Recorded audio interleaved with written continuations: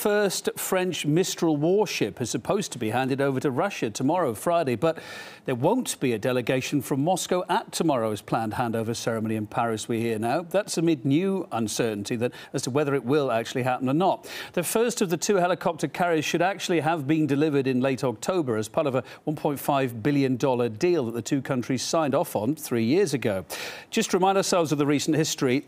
In summer, it was a done deal then, anyway, but then in September, French President Francois Hollande set conditions for Moscow over the role in uh, the Ukrainian crisis. Later that month, there was still no decision, although Russia did get an invitation, an official invitation to Paris for a handover ceremony for uh, November the 14th.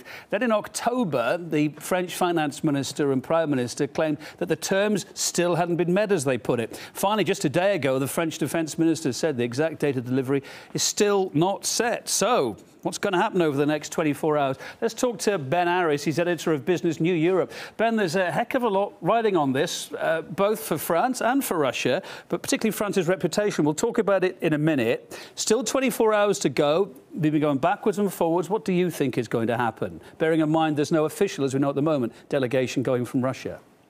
I think this whole thing is symptomatic of the sort of conflict of interest that Europe's got itself into. I mean, on the one hand, the political relations with uh, Europe and Russia are at rock bottom, as you know, um, over the um, the fighting in Ukraine and the, the fate of Ukraine and its place in Europe.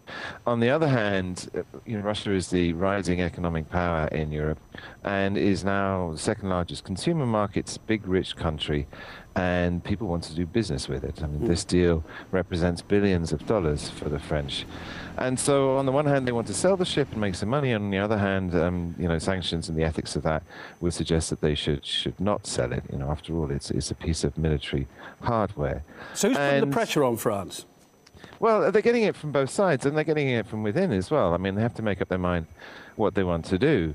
And in a way, it's been quite embarrassing because uh, although they've got a lot of pressure from the States, particularly not to do this deal, and some people in Europe have suggested that uh, NATO buy this ship instead and not give it to the Russians. On the other hand, you know, they, the cash on the barrel, I mean, money's already been paid. They're supposed to deliver. You know, you have contractual obligation to see the deal through. And so what they've been left is sort of shilly-shallying in the middle. And here we are at the 11th hour, and we still don't know what's going to happen. Do you think there will be a last-minute delivery tomorrow, or is it really too late for that now? I think not. I think on balance, it's too embarrassing. I think there's going to be some sort of fudge, um, but I think at the end of the day, you know, money will win out and the deal will be done. And people in France are just hoping everything sort of calms down in Ukraine and that there's sort of a move towards uh, reconciliation. Mm. Because, you know, Russia remains in Europe. It can't go away. I mean, Europe is going to have to deal with it at some point. And so they're thinking a little bit further down the line where things aren't quite so tense, they can close their deal and collect their money. Of course, if it doesn't happen, as you say, there's a bit of fudging happening here. France is in, is in an awkward position because thousands of jobs rely on the shipbuilding industry. And if this doesn't go through, there are other deals with India lined up. It's going to put their reputation about being able to deliver, be able to do what they've signed up to in contract, in doubt in the future. It's not going to help. Bad PR, no. isn't it? Absolutely bad PR. And you have to bear in mind, I mean, you know, this is actually more serious than it may first seem, in so much as, you know, Europe is teetering on the edge of a triple dip recession. And the European economy is in a really bad way. And so these kind of deals, large money deals, are even more important than normal in so much as, the, you know, the governments across Europe need cash quickly, and France is on the verge of going into recession. And if you're entering a recession and then having to scrap thousands and thousands of jobs because this deal fails, that's just going to make things worse. Ben Aris, editor and publisher from Business New Europe, thanks for your thoughts. They'll be following this story, of course, over the next 24 hours. Maybe catch you again tomorrow.